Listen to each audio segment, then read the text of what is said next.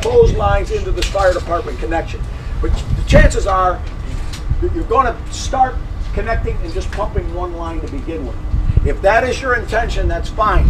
But both plugs have to come out at the same time. If not, that clapper right there, if it leaks water, can you imagine the pressure buildup? So if you did manage to get it off, it'll cripple you. So we want to go ahead and we want to take these, these happen to be plugs. Plugs are, are uh, caps with male threads, okay? Now, with a flashlight, is there a clapper? Are there gaskets? Is there an insect nest? You would be amazed at the vile things that you will find in here.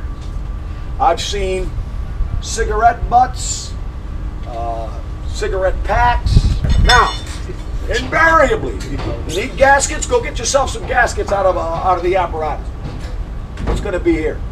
Frozen, frozen. Now, would you explain why we carry the array of double males and females on our three-inch line?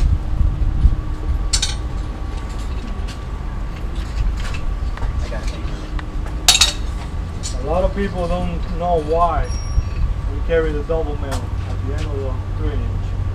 And the reason being is you can still hook this up on the other side of the wire and connect the three inch straight to the wire. And they don't know why we carry this. This is mainly for a frozen swivel on the FDC. All you do, you connect it, put your double female, and now you got a working swivel. Beautiful, right? Okay, like, let's say we don't have a double male and double female.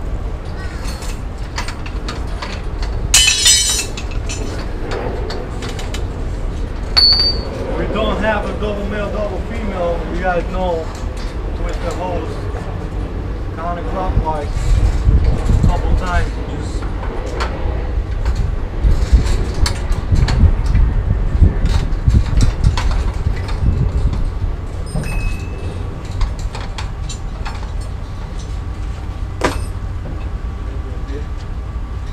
Okay?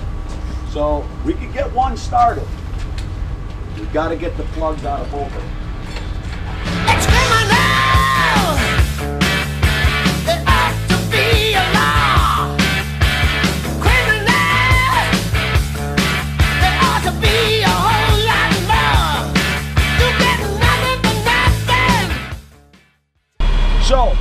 That our plan A is to pump the fire department connection. If we don't have an FDC, we can't find it, some crackhead has taken the swivels, we're gonna pump into a first floor outlet, providing it is not a pressure reducing valve. And we will show you that before we go upstairs. So let's walk over to the stairway here.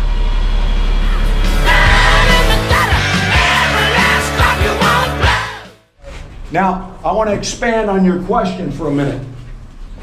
You said the lower floors or the first floors. It's not uncommon to see a building that may, for maybe the first eight stories, have PRVs. And then as you ascend into the building, then you have conventional. Why? Because the loss of el- from elevation brings that pressure down below where a PRV would be required. Remember, the maximum pressure from a standpipe outlet, according to NFPA 14, is 175 psi. Now, a couple things. We're gonna go ahead and flush this thing. What we did is we improvised a Y to a Siamese connection. Uh, Guy in the last class said, what about if we took a couple of pigtails or maybe one length of three inch and brought it out here? Would that be maybe less in the way for evacuation? Yeah, I think that's good. Be careful flushing this. If you have a company already flowing water, which would be highly unlikely, already flowing water. If you crank this all the way open, you stole their pressure. Okay?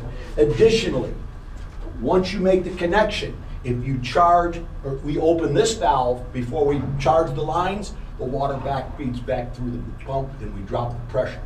As I said, it is absolutely critical that we ensure that this is not a pressure-reducing valve. How do we recognize it? There's various ways. We can talk about the big rim, but then I can tell you Wilkins valves that don't have a big rim. It says pressure-reducing valve on it? Yeah. May have a sign in the city of Miami, it has a sign. The surefire way, after you look in there and you make sure there's nothing nasty in there, you feel threads. If you feel threads, that is a conventional outlet. If you don't feel threads, more than likely that is a PRV and you cannot use it as an inlet because basically it acts as a check valve when you increase the pressure on the downstream side of, the, of that valve.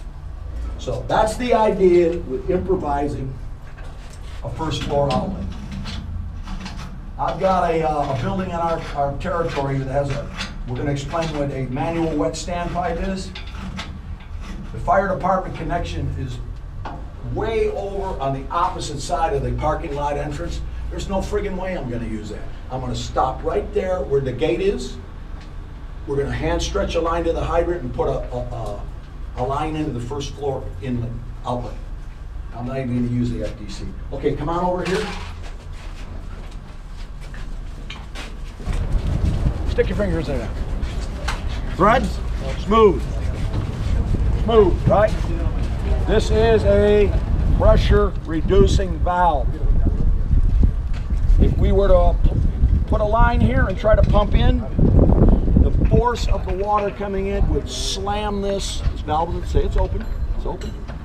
Okay, valve's open.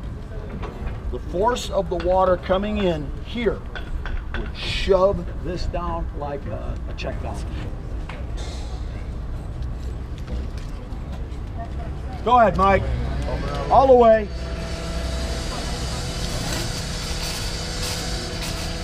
It's going nowhere. It's going nowhere. You cannot pump into a ground floor PRV. Okay, we're hooking up a conventional one right now. I'm just gonna crack a little bit. And the valve's open. Okay, this is a conventional valve. It has threaded valve stem. Crack it just a little bit, Mike. Crack it just a little bit, and quite predictably, water's gonna flow out. Come in the inlet, flow, flow to the outlet.